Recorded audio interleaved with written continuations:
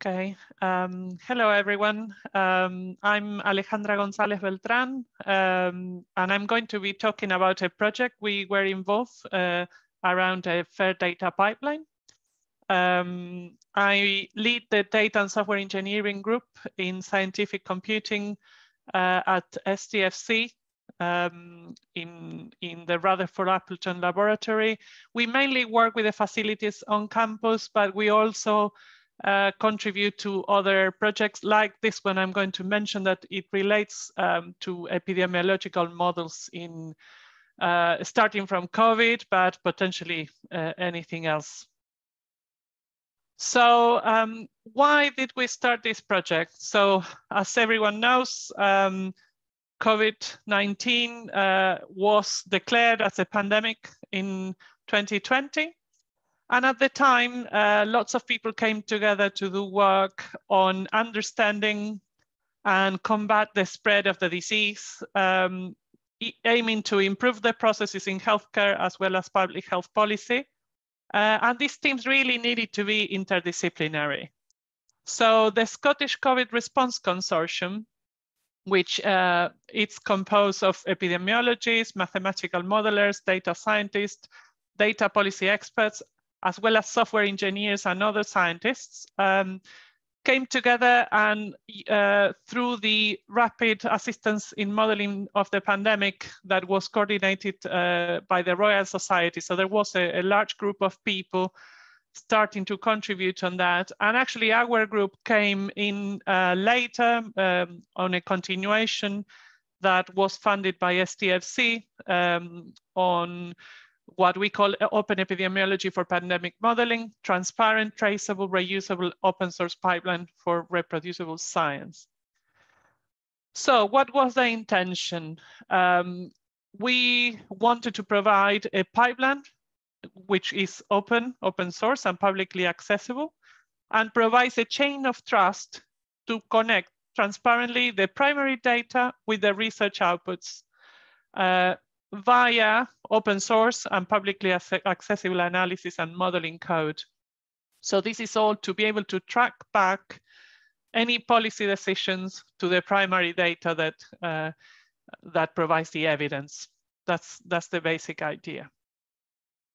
So um, why we needed this? Uh, so epidemiological modelers work with a variety of programming languages uh, to describe and analyze their models. Here you can see some examples of those programming languages. So basically we needed a pipeline that supported models written in, in multiple languages. Also, uh, we need to read and write data and we wanted to keep a registry component uh, to keep information about the data. And of course, very important is also to keep provenance information uh, about the data. So how the data has come into existence, uh, reflecting all of the entities, activities, and people that are involved in producing a piece of data.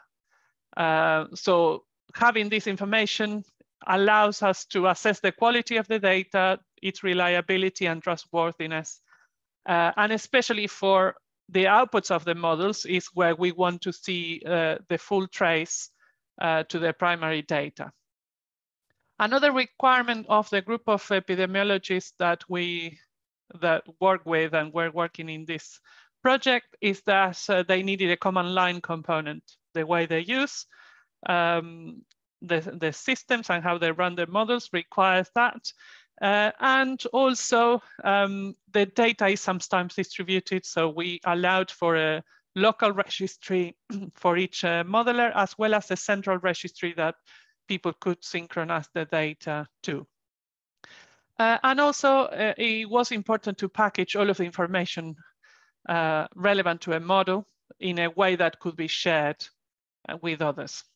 So what did we do to address this is we did consider the, the FAIR data principles of FAIR for findable, accessible, interoperable, and reusable. Uh, so we wanted a, the pipeline to support the different languages. So there are APIs for the different languages. Uh, in terms of reading and writing the data, we relied on standard formats like JSON and JSON-LD, persistent identifiers, and descriptions of the data based on standards, in particular the W3C data catalog vocabulary, um, for which I've been involved um, as a co-editor.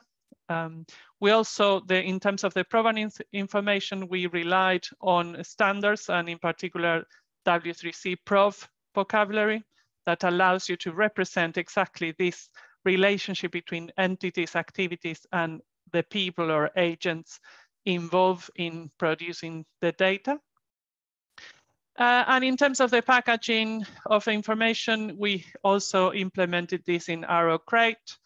Uh, that is a way of packaging the data and having all of this uh, together in a way that can be shared. So um, this diagram shows um, a bit how the, the pipeline works uh, in terms of uh, the, the different workflows. So as I uh, mentioned, we the requirements were around supporting reproducibility and especially traceability of the data um, so that we could also validate the different models. It is fully open source. I have the links um, in some of the slide, I believe. Um, and it, uh, it's based on the principle of openness and making the data fair. So as you can see here, we are assuming that the data can come from external sources or data repositories, and there is a local registry, as I said, that can be synced to a remote registry. And the epidemiologists will have their different models um, written in, in the different languages and rely on APIs uh, to interact with the registry. And everything is tracked. It relies on on GitHub and GitHub commits. So we are assuming that the code lives on, on GitHub, for example.